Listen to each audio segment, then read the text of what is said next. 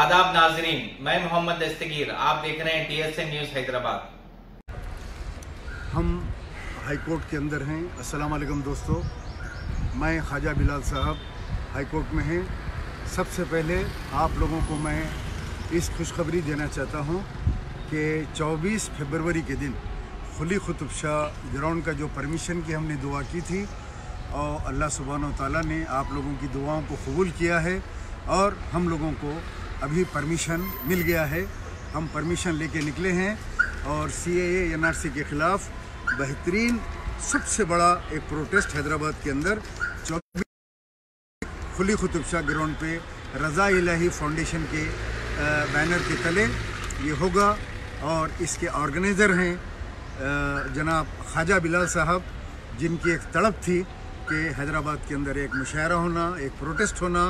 اور عمران پرتاپ گڑھی سے لے کے بہت بڑے بڑے لوگ اس مشاعرے کے اندر شرکت کریں گے، آئیں گے وہ لوگ اور یہ جو ایک تاریخی احتجاج رہے گا انشاءاللہ تعالی، آپ تمام اس میں شرکت کرنا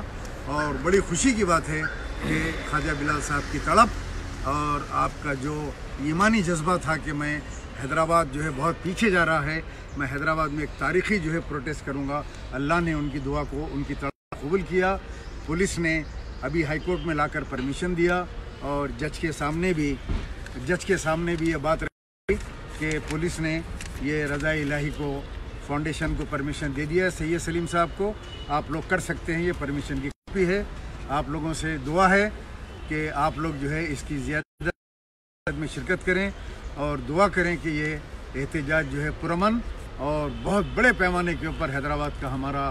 جو ہے احتجاج ہندوستان کے اندر درج ہو جس میں لاکھ ہزاروں لاکھوں کی تعداد میں عوام شرکت کریں اور چھ بجے ٹھیک جو ہے پروگرام مغرب کے ساتھ ہی اسٹارٹ ہو جائے گا بعد نماز مغرب اور اس کے بعد میں رات میں چلتا رہے گا گیارہ ساڑھے گیارہ بارہ بجے تک انشاءاللہ جب تک کا ہم کو اور میں جو ہے تمام ہمارے کمشنر صاحب اور ہمارے ڈی جی صاحب اور ڈی سی پی صاحب کنسرن سرکل صاحب اور جو ہے متعلقہ اے سی پی صاحب، جو جو لوگ ہمارے کو پرمیشن جو ہے دیے ہیں، ان تمام کا جو ہے میں رضا الہی فاؤنڈیشن کی جانب سے ممنون مشکور ہوں۔ السلام علیکم۔